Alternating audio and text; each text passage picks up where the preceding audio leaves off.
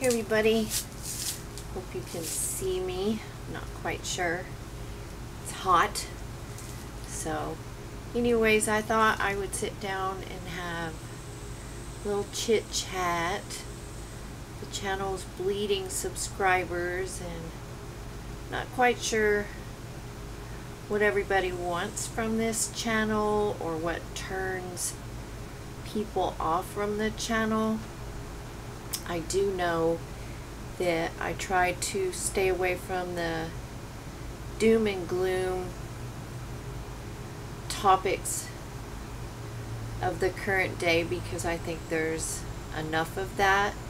And I try and keep things on an even keel try and show you how to use your preps and maybe suggestions on you know things to buy I'm not really down with the buy these 15 items now or you need this now or stock up on this now. Um, I don't focus on bug out bags because I don't think the reality of everybody bugging out to the woods is uh, real or what's the word I'm looking for? Feasible. It's not in the realm of reality for the most part. Um, I think if everybody were bugging out to the woods thinking they're going to survive off the land is unrealistic. Um, I don't know if you know about during the Depression, you know, they almost hunted out all of the deer. That's what's led into the uh, you know, rules of hunting today and, and limits and things like that. You know, they were darn near hunted out. And then if you were out there, you're going to have people out there trying to steal whatever you have to survive out there. I mean, think about what it would actually entail to survive in the woods with your kids, with grandma, whatever it's just not realistic. And then we've had like these temperatures over 100 degrees for like a month now. Like it's a it's in the hundreds right now. I'm already starting to sweat and I just sat down. I came out here because the dogs are having their dinner so I thought I could do a video and not have the chaos of the animals. There's somebody at the door right now my husband says, you always make them sound like humans. But, uh, so there's just some things that I don't find to be reality. If you have all of these prepper items to survive in the woods, somebody's going to come and steal that, you know. Um, glasses are getting foggy because it's hot. Um, I'm not the biggest fan of being on camera because I'm not here to be critiqued on looks, my hair, my makeup, or lack thereof. Um, I'm usually canning and stuff, so I don't see a point in getting all dolled up to sweat. That's why I didn't put on any makeup now because I'm just sitting here sweating. Um, but I do think it's important that, if, you know, if you are stocking up on all of these foods, you need to know what to do with them. I mean, if you're just stocking them and putting them away and not using them, that's not good. Um, if things get to a point where you are having to rely on them for your main meals and stuff, I think it's important to know how to turn them into something that everyone's accustomed to. I mean, a lot of people say you'll eat when you're starving. Well, nobody wants to really live off of plain beans and rice. And my opinion of beans, I know you don't see a lot of them in my videos, is because you better have a whole hell of a lot of water to cook those beans. So I try and can up a lot of my beans. But I do have beans stored, but you're never going to have enough water if you're in a suburban area like myself. You're just not going to have it. Excuse me. So, I mean, we need to think within the realms of reality. Yeah, have them on hand, and if you have the water, cook them. But uh, so that's that's been the main focus of my channel is a variety of foods like you know rice is easier to cook than beans. But what do you do with it you know? So I, I get the curries and the different things to try and show you how to zhuzh things up. Um, I cook with the sun oven or the grill or the cube stove to try and show you how to cook in an off-grid situation. I mean we've been in those situations here um, trying to tell somebody exactly what they need prep wise that's really all relative to where you're at I've learned through actual situations what we need in a, a situation where we have no power or heat or whatever. Um, our last major learning experience was the uh, snowstorm they got in Texas. We got the same thing here, that that blizzard, and they turned our power off in the middle of the night. It was minus 15 degrees. So I learned in that moment we didn't have the clothing, we didn't have the shoe wear, we didn't have the coats, we didn't have what you needed to get through a situation like that had it been as long term as it was in Texas.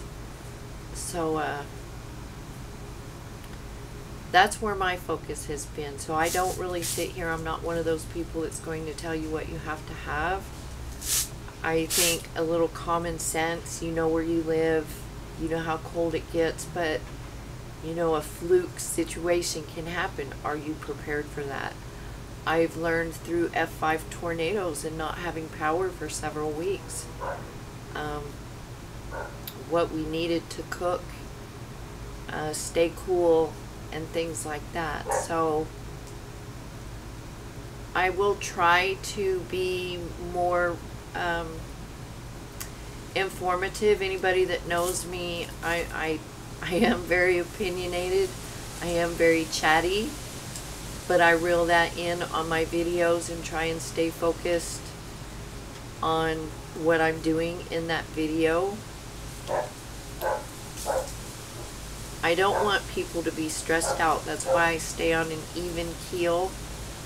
I'm a one day at a time kind of person. For anybody that doesn't know, I've danced with cancer for about 15 years. So I've become a very one day at a time sort of person. So I deal with what I can see. it's really windy. It's kicking up my allergies. Um, my asthma has been uh, I guess you'd say a, a side effect from treatment, just a residual thing. That's where the coughing and sneezing and such comes from in my videos. I don't try to just hack and stuff. It comes out of nowhere. And it's usually a, a perfume or something that takes me out like soap and such. So anyways, um, forgot what I was saying It's another thing, chemo brain. Oh, one day at a time. So I take things one day at a time and I stay aware of what's going on and the potential um, of more serious situations arising in the near or far future a lot of people made predictions about the DEF and the, the trucks were going to stop and the trains were going to stop. None of that has happened. And certainly not in the time frame that they said it would. So, I mean, take everything with a grain of salt. Prep your pantry. Have what you need for any situation that could arise in your area that that you know will happen, like the potential for hurricanes. You know, they say hurricane season may ramp up. I should have got some water, is what I should have done. Um, hurricane season may be ramping up here soon. Um, the places that have had drought, they will get rain again, and the potential for flash flooding will be increased. So, I mean, keep your, you know, stay open to those situations. You know, if you've had a drought, you know it'll rain at some point. It's highly probable that you'll have flash flooding. I mean, that's what we went through in California all the time. You know, it gets so dry, and then when it does rain, the ground's so dry it can't absorb it, so we would flood. So between, I, I lost everything to fire in California, so I know what that's like. I dealt with the Northridge earthquake. It was uh, around my birthday, and then the following month I got married to my husband. So I've I've dealt with a lot of situations, um, and that's how I've based my prepping. And I do know that when it gets bad, you don't want to eat plain old beans and rice. I'm watching these wasps and such. So, you know, the people just aren't interested in knowing how to cook it, um, how to cook with the sun oven, how to cook with fire or charcoal or on the grill, which I think is a shame. I think if you're in an apartment or a condo, I've lived that lifestyle. You need to have your butane stove. I've had people say that they can't have that stuff in their apartment. It's against the rules, or they can't even have solar. Do you really think in a really bad situation people would be going knocking on the door going, you know, what do you have in there? Um, I would do it anyways. The same with water collection. California would be a fine example of that. I know in Colorado there's a lot of laws against collecting water. Get a barrel anyways. I mean, if things get that bad, do you really think somebody's going to be banging on the door going, do you have a water barrel? Or do you have a butane stove? Or do you have a solar generator or any kind of solar power? Um, just do what you feel is right in your situation and take things day to day. I think the actual situations you might want to be focusing on is the border. I don't know if you know what's going on in Mexico, but it's completely collapsing. The cartel has uh, taken over I know a lot of people that were going from San Diego, Southern California, doing their shopping and medical needs and things like that in Mexico don't don't even go. Um, we have people crossing over the border in droves by the thousands daily. Where do you think these people are going and what do you think they're going to be doing when we're struggling with inflation now, and in a lot of areas, I mean, I'm not seeing it a lot here. You may have to go to several stores to get what you need, but I mean, there's food on the shelves. But these people are let out all over the country. They're just being let off these buses or flown in with their little goodie bag, with their EBT card or their debit card and when that runs out, what do you think these people are going to do? They're in a foreign country with no resources. I think you need to focus on those issues. Those are reality right now. And the violence and theft and things that are going to occur from that. I mean, when people have nothing else to lose, they'll do anything. And those people most in particular are in that situation. I mean, they they have what's going to happen. I mean, you'd be better off in jail, right? Three meals in a cot. So, anyways, I think I might be switching it up and I may give my opinion more, but you guys may not like it. I don't know. But for whatever reason things aren't working now. I post a video, I bleed like 10, 15 subscribers, and I'm just, I'd be curious to know why. I get a lot of hate comments, which I don't understand that either. And I'd like to leave them there, but uh, the, the AI auto deletes them. But, you know, and some of them are within this community, so I think it would behoove people, a lot of them are males. I think it would behoove a lot of the women to know um, the kind of men that are running around in this community, and they're not. They're not very kind. You have an American flag, but you're in here berating a female to, because you don't like her opinion or how she's doing something. I've been called a coward. The see you next Tuesday. Uh, stupid. B. Uh, F in this and it's been interesting. And I'm I'm probably one of the most tame channels on here in this community. So, anyways. I just wanted to put some of that out there. I have a lot of opinions on some of the prepping I'm seeing.